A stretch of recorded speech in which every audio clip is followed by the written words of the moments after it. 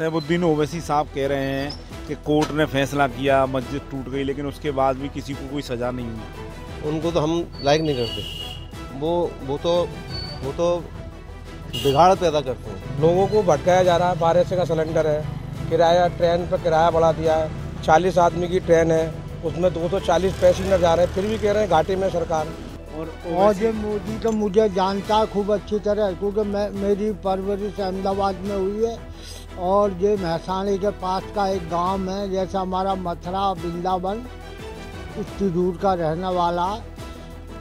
तो इसके बाप से भी मेरे बड़े अच्छे ताल्लुकात थे नमस्कार, आप देख रहे हैं यूपी तक, और मैं हूँ आपके साथ मदन गोपाल शर्मा। जैसे जैसे चुनाव नज़दीक आता जा रहा है वैसे वैसे मंदिर मस्जिद की राजनीति शुरू हो गई है, और नेता बड़े बड़े बयान दे रहे हैं। वहीं कर्नाटक के एक नेता ने कहा है कि हम काशी विश्वनाथ की जो मस्जिद है उसको तोड़कर मंदिर बनाएँगे। तो हमारे साथ मुस्लिम समाज के कुछ लोग मौजूद हैं उनसे पूछते हैं कि इस तरह की बयानबाजी जो हो रही है इसको ये क्या मानते हैं? आ, क्या क्या नाम है आपका? आ, क्या क्या नाम है क्या नाम है आपका? मेरा नाम जिलानी कादरी। आ, कादरी साहब इस तरह की जो बयानबाजी हो रही है क्या कहेंगे इस पर? इसका राजनीतिकरण कर रहे हैं लोग। राजनीतिकरण नहीं होना चाहिए। जो हमारे यहाँ भारत भारतवर्ष में सद्भाव सद्भावना है मिलजुल कर लोग रहते हैं। उस परंपरा के अनुसार हम लोगों को चलना चाहिए। वोट का समय आगा ये तो हमें आपको निर्णय करना कहाँ पर हमें वोट देना चाहिए कौन स्वच्छ सभी का कौन सा अच्छी सभी का कौन हमारा विकास कर रहा है कौन हमारे देश को तरक्की की ओर ले जा रहा है। हमें उनके अधीन चलना और उसी उसी पर, उसी पटल पर हमें काम करना और ऐसे लोगों को चुनाव जिताकर भेजना जो संसद में अपनी हमारे शहर की हमारे जनपद की गर्मा को बढ़ाएँ। ऐसे लोगों हम चाहते हैं हम इस इस चीज़ में विश्वास नहीं करते कि झगड़ा हो सद्भावना बिगड़े सद्भाव बिगाड़ पैदा हो ऐसी हम नहीं चाहते सोच हमारी सोच ऐसी सैबुद्दीन ओवैसी साहब कह रहे हैं कि कोर्ट ने फैसला किया मस्जिद टूट गई लेकिन उसके बाद भी किसी को कोई सजा नहीं हुई। उनको तो हम लाइक नहीं करते। वो वो तो वो तो बिगाड़ पैदा करते हैं विभाजन पैदा करते हैं। हम विभाजनकारी नीतियों के खिलाफ हैं क्योंकि तो हम तो महात्मा गांधी जी हमारे सर्वोच्च नेता थे हम उन्हीं अहिंसा बाई तरीके से उनके विचारों को मानते हुए हम उस कार्य उस कार्य में हिस्सा लेते हैं जो महात्मा गांधी जी ने देश की आज़ादी की लड़ाई लड़ी। आज हमारे देश को आज़ाद हुए तिहत्तर या पचहत्तर साल जो भी हुए हैं हम तो उनके अनुसार ही चल रहे हैं जो हमारे गांधीवादी तरीके से रास्ता हमने अपनाया था उसी रास्ते पर हम अपना काम करेंगे। तो जो जिस तरह की बयानबाजी कर रहे हैं नेता बचना चाहिए उन्हें। हाँ हमें वो भी बचना चाहिए। हमें तो अपना विकास देखना है चाहे मोदी जी कराएँ चाहे योगी जी कराएँ हमें कोई आपत्ति नहीं है ना योगी से आपत्ति है ना हमें मोदी जी से आपत्ति है ना हमें अमित शाह से आपत्ति है। आपत्ति उनसे जो विघटन पैदा कर रहे हैं। आ, क्या नाम है डॉक्टर साहब मेरा नाम डॉक्टर त्रिलोकपाल शर्मा है। हाँ डॉक्टर साहब जिस तरह की राजनीति चल रही है और जिस तरह की बयानबाजी चल रही है क्या कहेंगे हाँ ये विभाजन वाली राजनीति चल रही है। लोग अपने फ़ायदे में समाज को बांट कर अपना फ़ायदा उठाना चाहते हैं। तो हमको इन लोगों से बचना चाहिए। ऐसे लोगों से बचना चाहिए और उनके कहने में ना आके अपना सद्भाव बनाए रखना चाहिए। हाँ और भी कुछ लोग हमारे साथ मौजूद हैं। क्या क्या नाम है तुम्हारा? मोहम्मद जाकिर कुरैशी। हाँ जाकिर कुरैशी क्या कहेंगे? नेता मंदिर मस्जिद को लेकर बयान हम तो ये कहते हैं कोई भी समाज में हो हाँ। हिंदू मुस्लिम हिंदुस्तान पाकिस्तान और मंदिर मस्जिद के नाम पे जो वोट मांगे उसको वोट नहीं दिया जाए। वोट उसको दिया जाए जो समाज का और रोज़गार का बेरोजगारी के मुद्दे पर चुनाव लड़े। लोगों को भटकाया जा रहा है बारह सौ का सिलेंडर है। किराया ट्रेन पर किराया बढ़ा दिया है। चालीस आदमी की ट्रेन है। उसमें दो सौ चालीस पैसेंजर जा रहे हैं। फिर भी कह रहे हैं घाटे में सरकार। पेट्रोल सत्तर था। एक सौ पाँच, एक सौ सौ और सौ रुपये खरीद रहे हैं। फिर भी कह रहे हैं हमको घाटा हो रहा है। तो ऐसे इंसान को नहीं लाया जाए। उस इंसान को लाया जाए जो समाज सबका साथ और सबका विकास और सबका विकास।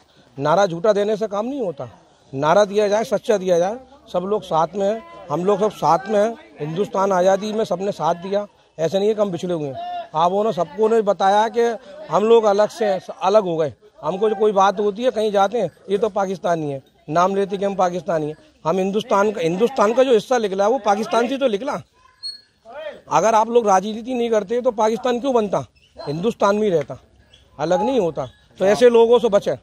आप मानते हैं कि इस तरह की बयानबाजी नहीं होनी चाहिए? बिल्कुल गलत है बिल्कुल गलत है। ये नहीं होना चाहिए। सबको साथ में लेकर चलना चाहिए। बिछड़े हो दलित हो समाज हो जो भी हो सबको साथ लेकर चाहिए। ये एक तरफा की और अमीरों की पार्टी है गरीबों की नहीं है अनवाड़ी की उन की पार्टी नहीं है। सबका साथ और सबका विकास सबके साथ में। और भी कुछ लोग हमारे साथ मौजूद हैं। क्या नाम है आपका? आप मुझसे क्या नाम पूछ रहे हो? किस बारे में पूछ रहे हो? आ, जो आजकल मुद्दा चल रहा है नेता भाषण दे रहे हैं मंदिर मस्जिद पे बीजेपी के एक नेता कर्नाटक के कह रहे हैं कि जिस तरह आ, हमारे मंदिरों में कब्जा किया गया हम मस्जिदों पर कब्जा करेंगे मस्जिद तोड़ेंगे।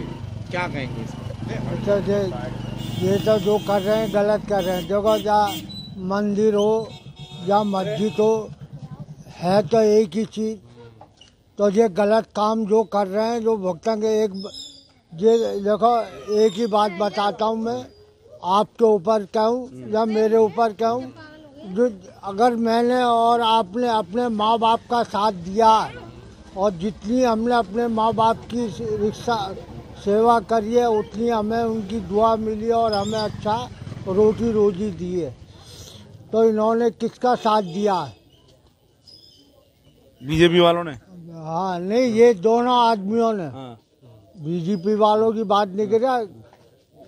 ये पूरे वहाँ पे तो दो ही जने बैठे हैं। क्या अच्छा काम किया इन्होंने?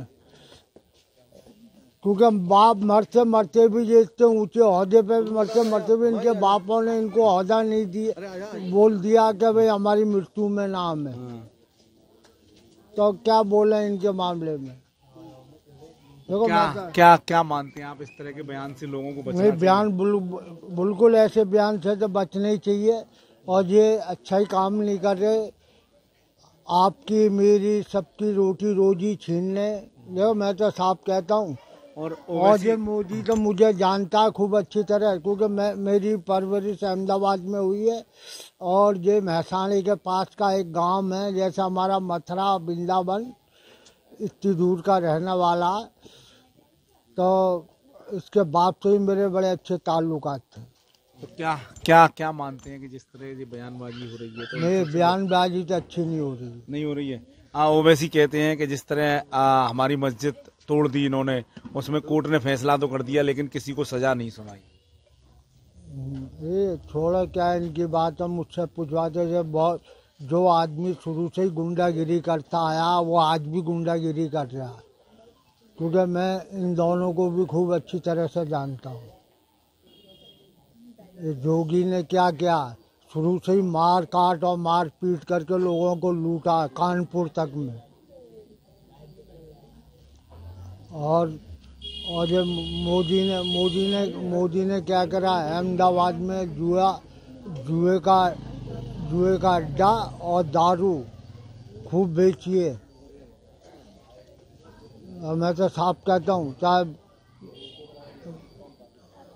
और भी कुछ लोग मौजूद हैं कि ये भाई मौजूद है हमारे साथ नया युवा है क्या कहोगे? क्या नाम है तुम्हारा? मेरा नाम अयान कुरैशी है। आ, क्या कहोगे जिस तरह की नेता ने, बयानबाजी ये जो भी ये जो भी बयानबाजी हो रही है ये गलत हो रही है। अभी चुनाव का टाइम है तो झगड़े और ये सब तो होंगे ही होंगे।